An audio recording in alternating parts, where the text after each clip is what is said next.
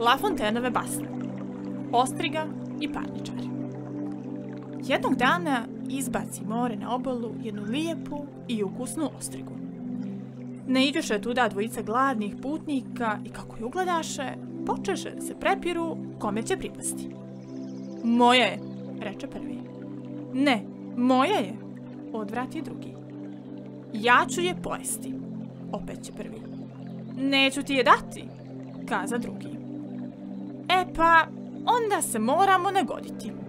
Koju je prvi ugledao, taj će je i dobiti, a onaj drugi neće imati pravo da se žali. Na kraju će prvi. U redu, drugi će. Ako je tako, ja sam je prije tebe opazio. Pazi, molim te, to nikako. Ja sam joj bio bliži od tebe. Opet prvi, moja je. To bih smio da tvrdim i svojim životom. Drugi, dobro, ti si je vidio, ali ja sam je namirisao.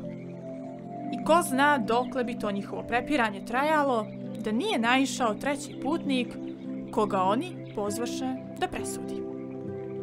Ti ćeš biti pravedan, ali te molimo da budeš pošten i strog.